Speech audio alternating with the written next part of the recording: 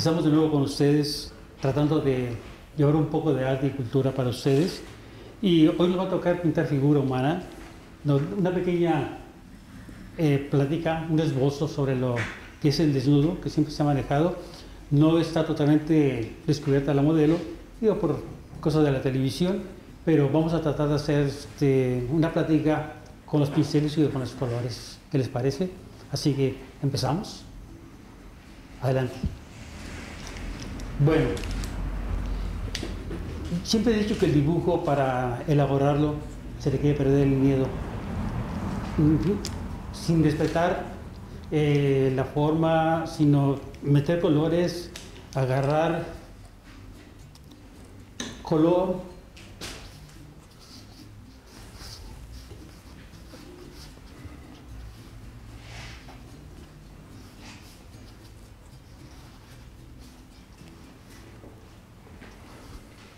Ahí está dibujada ya la modelo. Entonces vamos a meter un poco de color. Héctor, siempre el pintar una figura humana como que es un reto para, para la mayoría de los pintores, ¿verdad? Porque yo creo que se requiere una disciplina de años, ¿verdad? Para, para poder eh, captar, ¿verdad? Los ritmos y los colores y las formas. Pues yo considero que este, eh, se han hecho muchos mitos en la pintura, que, el, retrato, que la figura. Yo creo que este, debe uno aprender a observar y si uno observa, logra uno eh, dominar cualquier expresión, ya sea paisaje, bodegones, figura humana. Yo creo que es, este, es, es parte del trabajo, es parte del quehacer. El dibujo no es una materia que se lleva en primer año. El dibujo es una materia que se lleva toda la vida. No se puede pintar sin tener una noción del dibujo, una noción de la forma. La composición eh, es muy importante, yo creo, ¿no?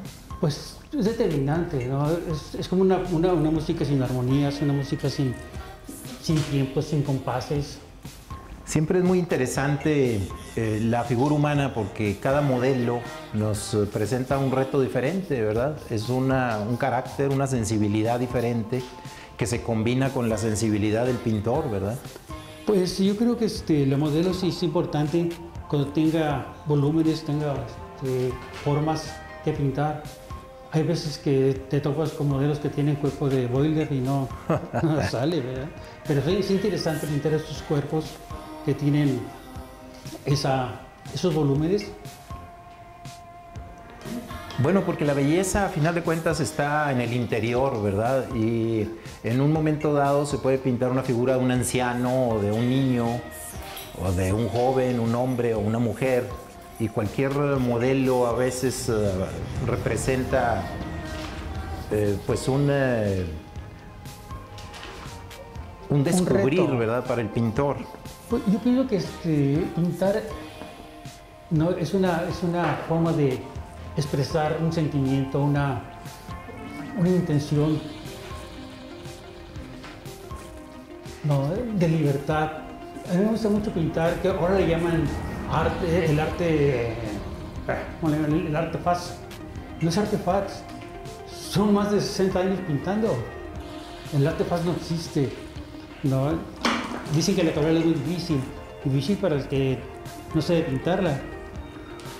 O sea, existen muchos mitos, como te decía, yo pienso que va. Esto que te refieres del arte fast, eh, yo creo que es eh, producto de la vida rápida que se vive en estas ciudades, ¿no? Como la comida rápida. No, no, no, no, el arte fast no, es la capacidad que tiene el, o, el taller que tiene el pintor, ¿no? Sí. Sí, no, no, no, es, este, no es casual, no es, no es parte de una época, no es parte, es parte de una, de una formación dentro de la academia, ¿no? Sí. Entonces, pero para solallar la capacidad de un pintor, ah, es que es pasar, es lo fácil, ¿no? Sí. Y no, no es así. Se tiene que estudiar mucho, llegar, para llegar a un virtuosismo, ¿verdad? Para poder captar realmente la, la esencia. La, esencia.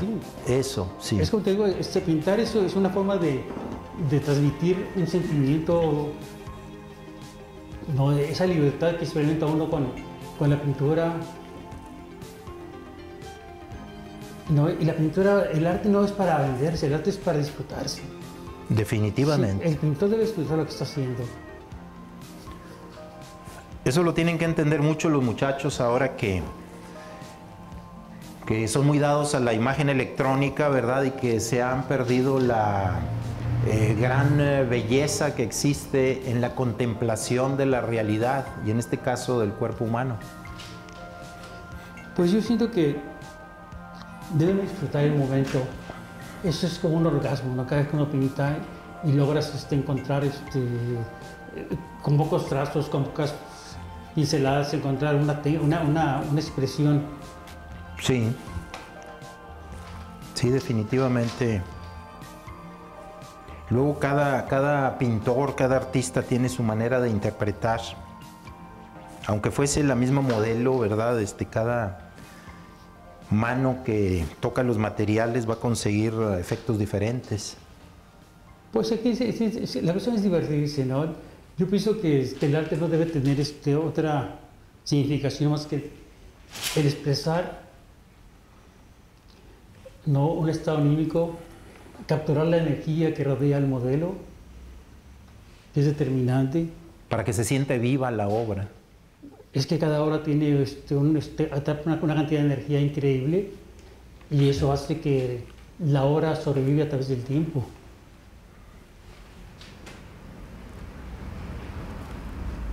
Se ha dicho que la obra siempre es una lucha contra el tiempo, precisamente, Héctor, lo que estás uh, tú Pues, afirmando. El arte no tiene edad, el arte no tiene, no tiene tiempo, el arte no es la fama, el arte no es eh, aparecer en los periódicos o ser millonario, como mucha gente piensa que los artistas son muy ricos. Pues sí, somos ricos porque tenemos muchas satisfacciones, no, pues de ahí en fuera material no lo ocupa uno para nada. Pues es la mayor riqueza que puede existir, ¿verdad? El poder gozar de la, de la realidad que nos toca vivir y de todas las circunstancias que nos rodean. Pues sí, De es- tener la sensibilidad verdaderamente abierta a flor de piel. Es que para qué quieres dinero si tienes una, una, una- una facultad de poder, de una, de una cosa en blanco, de una, una cosa lisa, dar una, una expresión. Yo creo que es- eso es, es lo máximo, ¿no? Sí. Bueno, yo sí lo percibo. Yo cuando era niño yo nunca pensé ser pintor. Yo era un vago, ¿eh? era un chamaco que pues no ni qué, qué onda con, con él. De- pero nunca radiqué mis ideas.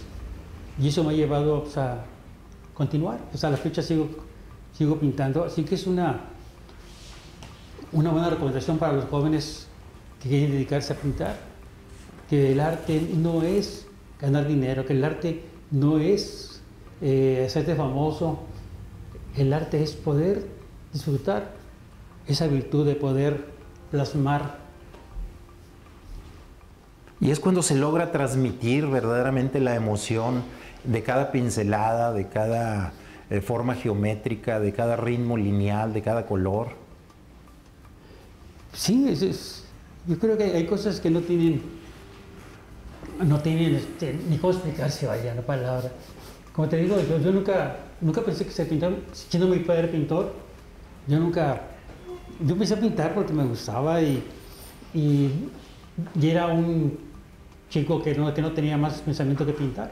Pero también tú tuviste la gran eh, fortuna y privilegio de, de ser amigo de, de un gran pintor español que estuvo por acá en Monterrey, Sí. eh, Eugenio Mingorance. Sí, bueno, fue una ventaja, siempre me, este, me, me protegió él. Están, eh, nuestro productor está mandando a un corte, Héctor. Ah, sí. Continuamos en un ratito más viéndote Es que yo estoy realizar pintando, se esta me obra. cuando pinto. Así que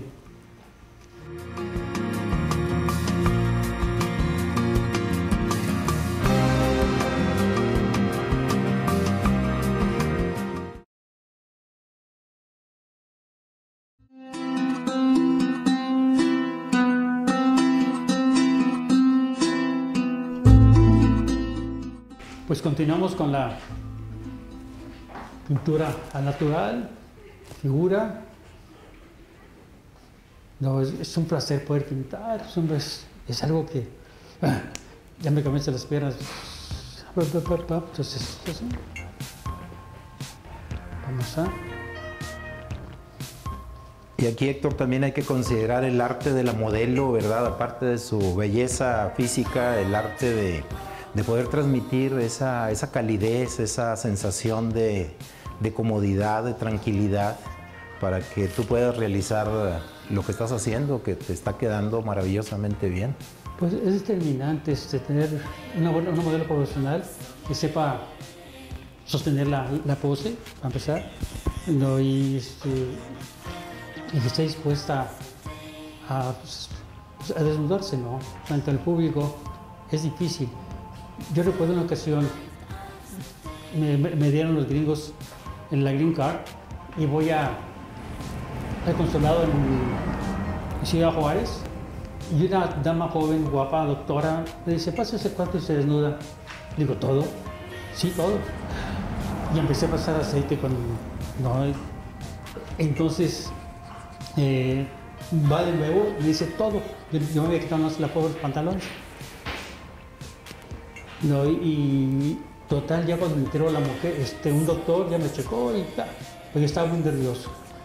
Es parte de la cultura, ¿verdad? Este, que tenemos muy arraigado, el, esos prejuicios acerca, temores. a veces en contra de la desnudez, ¿verdad? Son temores, Sergio, son temores que vamos adquiriendo. Para... Pues qué bueno que tú estás haciendo este, este trabajo de este semidesnudo, Héctor, porque es una parte de también transmitir la cultura de que un desnudo, un semidesnudo, no es algo pornográfico, sino algo estético, algo bello, algo que sublima la belleza del ser humano. Pues el ser humano ha tenido la, la, la, la mala fortuna de que los modistas nos han vestido, nos ponen zapatos, nos ponen... Y nada se requiere de eso, ¿no? Somos esclavos de una, de una, de un mercado que es la ropa. Los zapatos ya dejan de tocar en la tierra, ya no tocan la tierra, tocan el, la suela del zapato nada más, la piel. Tan cómodos que podríamos andar, ¿verdad? Oh, olvídate. Pero pues estos prejuicios son terribles, ¿no? Y, ahora que, que, son marcas, ah, mira, te calzones Kevin Klein. Pues no. Y siempre lo importante es lo que el ser humano lleva adentro, lo que es verdaderamente. Y, y yo creo que el arte nos va llevando, Héctor, a esa, a esa consideración de que precisamente el ser humano vale por, su, por sus valores propios, por sus méritos propios, por su cultura, por su sensibilidad, por su apego a las artes también. Yo creo que todos valemos igual, ¿no? Desde un campesino a un obrero, cada quien hace su labor. No, yo no, no creo que cambiemos, yo creo que la fuerza del trabajo es la que hace que la gente viva en paz y viva con la tranquilidad pues aquí vamos, aquí vamos. Espero nos aburran nuestros, nuestros telespectadores. Yo creo que no, Héctor. Tienen que estar, yo creo, ahorita los, uh, los televidentes, amigos nuestros, tienen que estar ahorita observándote pincelada a pincelada. Porque cada pincelada que vas dando va adquiriendo una nueva sutileza y una nueva forma la obra que estás realizando. Pues digo, es, es, algo, es, es, algo, interesante, ¿no? Es no perder la práctica de, la figura humana. No, voy a insistir, no, no hay cambios, uno los ha, los impuesto, no de que es muy difícil esto, difícil lo otro, y no, la libertad creo que es determinante. Y estás consiguiendo una armonía colorística, Héctor. Pues más bien este, es, es, como una pieza musical, ¿no? Es como una obra musical donde tienes que cuidar los equilibrios estar en las armonías, no, no meter los colores directos crudos, tienes que combinar los colores para poder tener una, una buena composición visual ¿no? del, del, modelo. Y aquí volvemos a lo mismo que hemos repetido, yo creo, muchas ocasiones en trazos, de que el dibujo es definitivo, ¿verdad? Que tú ahorita te observamos que estás pintando con los pinceles, con pues los sí. colores que estás dibujando con los colores. Es que el dibujo es, es, es, que nunca se ve que dibujar, al pintar se sigue dibujando. No sé quién dijo que, este, que el dibujo es una materia obsoleta, que ahora se usan eh, proyectores, cuadrículas. Eso es bien padre, eso es saber que tienes la facilidad de poder captar, observar y ir justo color sobre color. Claro. Eso es una maravilla la pintura. Te sensibiliza la mirada y puedes eh, captar cosas que, que el ojo normal eh, no ve. Sí, pues tienes que educarlo. Es que pintar en la escuela, el hacer un dibujo de, de, una figura, de unos carros, lo que tú quieras, no es para que te queden una hora para colgar, es una hora para aprender. Es la base de la pintura. En fin, me quedo. Fíjate que en este momento que dices aprender, yo creo que se aprende de aprender, pero también se aprende con H de, de capturar la realidad a través del arte. Pues sí, determinante.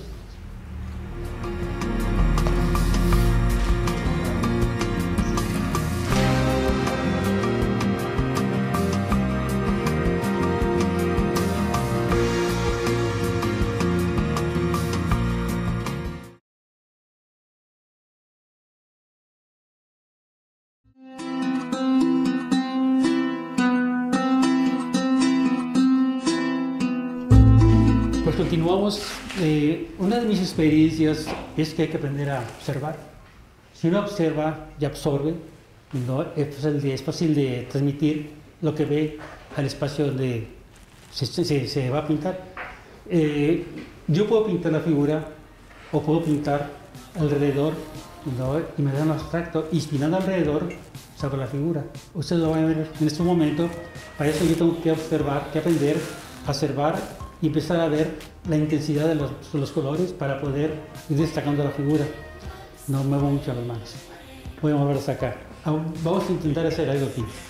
Y aquí hay una nueva pose, Héctor. Con una nueva geometría. Eh, eh, sí, eh, sí, pero ahorita lo importante es sacar este, lo que les comenté ahorita. ¿no? Sí. La figura, voy a sacarla desde el fondo. Ahora y los elementos abstractos.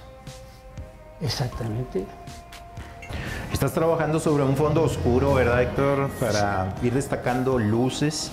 O sea, este, la pintura se empieza de atrás hacia adelante.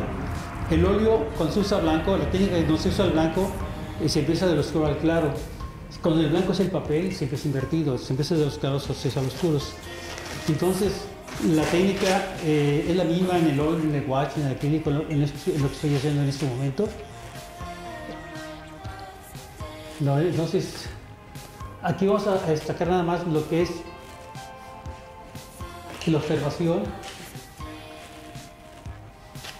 Eso es lo que se aprende precisamente a dibujar. Cuando se dibuja eh, de eficaz manera, ¿verdad? Eh, se desarrolla la capacidad de, observador, de observar. Es que es la base de todo. Si, es la base de todo. Si no, si no hay dibujo, no hay nada. Si hay dibujo, hacen lo que ustedes quieran. Pintura, hacen litografía, hacen grabado. Es como la cimentación de una, de una construcción, el dibujo. Le da solidez, le da eh, pues eh, sí, precisamente que esté bien cimentada esa obra, bien construida para que no se caiga. Yo creo que una pintura que no tiene buen dibujo eh, se desmorona sola.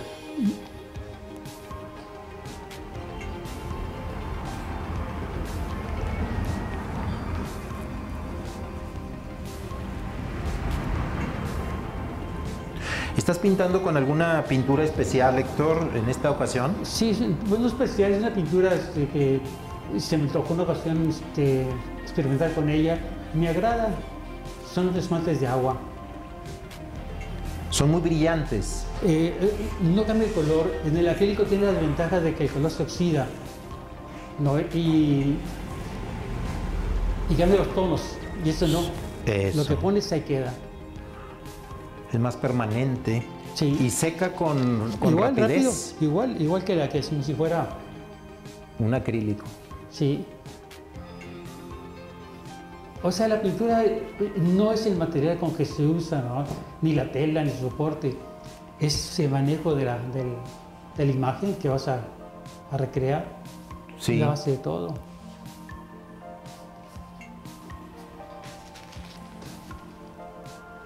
Sí, porque cada material tiene sus propias limitaciones y sus propias virtudes, que en este caso, pues cada, cada artista, cada pintor eh, sabe explotarlas de manera óptima para conseguir eh, mejores resultados, más expresiva, eh, la pincelada, el color, la textura, la forma. Hasta ahorita estamos viendo pura abstracción, Héctor, ¿eh? Pues sí, e, es, es, lo que el abstracto no debe ser casual, debe ser pensado. Hasta ahorita das de cuenta que no existe la, Debe la, ser razonado. la figura, sino que está- estás viendo puras formas, puras masas de colores. Pues es, pues, es es- pues, digo, pues, te imaginas tantos años y no saber todavía, no, es como el marinero, ¿no? Que, que, que aún se marea en el mar, ¿no? Sí. No, aquí no, tienes que forzarte y sobre todo empezar a, a- a hacer un, auto- un autocrítico, ¿no? Sí. La, este, la, la, la sensibilidad del pintor está basada también en momentos, ¿no? Y de repente surgen momentos mágicos donde te concentras y te conectas con, con el cosmos, ¿no? Y hay momentos que nada sale. Sí, hay ciertos ritmos, ¿verdad? En donde el ser humano se conecta con el universo y otros ritmos en donde estás eh, más terrenal, más... eh, el ser humano es más obvio a Yo veces. creo que es el enfoque, Sergio, el enfoque. Sí. No, hay, hay gente que pinta por hacerse famoso, hay gente que pinta por ganar dinero y hay gente que pinta pues, porque nos gusta pintar. No, que no se corre tras de nada, no, se corre nada más a... La fama viene siendo, viene, viene siendo un error, la fama, un, un malentendido en una sociedad. La fama es como las damas que fuman de noche, se van con el que paga más.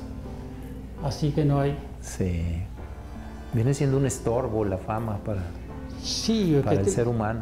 Y aparte, te, te, te- te sigue, te vas estancando y dejas de hacer lo que quieres porque vas a evitar lo que a la gente le gusta, que lo que un día hiciste y ese se diga, pues tuvo su momento. Se pierde el verdadero disfrute. Sí, cuando digo pintar eso es maravilloso, eso es, es algo que no, no tiene, bueno, al menos para mí, ¿no? Claro. Y yo creo que para cualquier artista auténtico, Héctor, porque pues precisamente en eso consiste el arte, ¿verdad? En eh, defendernos de las trivialidades de la vida y, y- y ser más sensibles, ¿verdad? Para cap- poder captar toda la belleza que está alrededor de nosotros. La belleza, la, la- la belleza uno la transforma de tal forma que, que creas una, una, una, una pieza musical con colores, una Sí. pieza musical con ritmos de formas. Estás creando algo que no existe. Por supuesto. pues y espacio. se crea, eh, digamos, como la naturaleza crea, el artista también crea. Más bien recreamos, Sergio. Recreamos a, lo, a como vemos. Eso. porque es- es- se me hace muy, muy fuerte decir que uno crea, no, no, no, es creador de la naturaleza. Uno nada más la interpreta. Hay una sutileza eh, rítmica, colorística, de pinceladas en eso que estás haciendo, doctor. Pero eso, eso me lo está dando el, este, el momento, la energía de todos los que estamos aquí. No, porque es, ind- es indudable que la energía fluye cuando hay una armonía en el entorno. Sí. Yo creo que hace falta eh, programas como el nuestro, doctor. Yo creo que tienden a sensibilizar al público, a la gente, para Bueno. que realmente considere lo que es el verdadero arte y los artistas que, que- que se merecen un respeto, ¿verdad? El sentir, ¿no? El sentir es importante. La figura ya va apareciendo, Héctor. Hace, Pues sí. hace unos momentos era más abstracto y ahora ya está apareciendo la figura de la modelo en esta etapa de tu obra. Sí, es lo que pasa, este, cuando hago esto, este, me, me acuerdo mucho de mi papá. No, este, mi padre le preguntaba, oiga, Morelli, ¿por qué le salen los coros tan bonitos? Y decía, yo le pongo los pinturas en la paleta, no, y agarro el pincel y los meneo y le digo, no se hagan molas, no se hagan molas, y salen cuadros. Entonces aquí yo estoy sacando cuadros. Las pinturas se hacen solas. Qué padre llegar a esa... Y con ese sentido del humor también, ¿verdad? Que siempre sí. hace falta también. Es que la vida, es- la, vida tiene- debe, debe tener ese toque de humor, una vida así este, amargado no funciona. Pues el arte nos aleja de la amargura, de la tristeza y de la violencia. Yo creo que los jóvenes eh, tienen mucho que aprender de que el arte precisamente vamos, a través del arte podemos crear una sociedad más pacífica, más eh, feliz, eh, pues, disfrutando pues verdaderamente las, las cosas bellas. Pues a los, los, gobiernos, ¿no? Porque estamos pintores, estamos con una mano tan adelante, ya no tenemos casi para comer, comemos sus frijoles, porque no hay movimiento, no hay espacios especiales, todos los espacios son es para todos. Entonces, no es posible que gente que nos dedicamos a pintar de toda la vida, no, no, no, haya espacio para nosotros, ni siquiera el cariño ni el respeto de, de, muchas entidades. entonces, pero eso no importa, hay que pintar. Yo creo que sí, tenemos que seguir nosotros firmes en nuestros propósitos estéticos para poder eh, ir convenciendo, ir uh, seduciendo a más gente. Eh, bueno, sí, es importante, es importante manejar una idea, un criterio. El silencio, el silencio. Sí. Fíjate que en ocasiones el silencio ayuda porque se concentra la mirada, se concentra la atención y es importante los silencios también en la vida. Pues sí, en la, música hay silencios. Así, llegamos al final. ¿Qué les pareció? ¿Están contentos? Continuamos con esta misma técnica de, mostrar lo que hacemos, de platicar lo que hacemos al momento de estar pintando. Creo que es interesante. Ahí no se echan mentiras. Ahí se está viendo lo que está haciéndose y el público puede ver y constatar de que la pintura es un placer hacerla. Hasta pronto.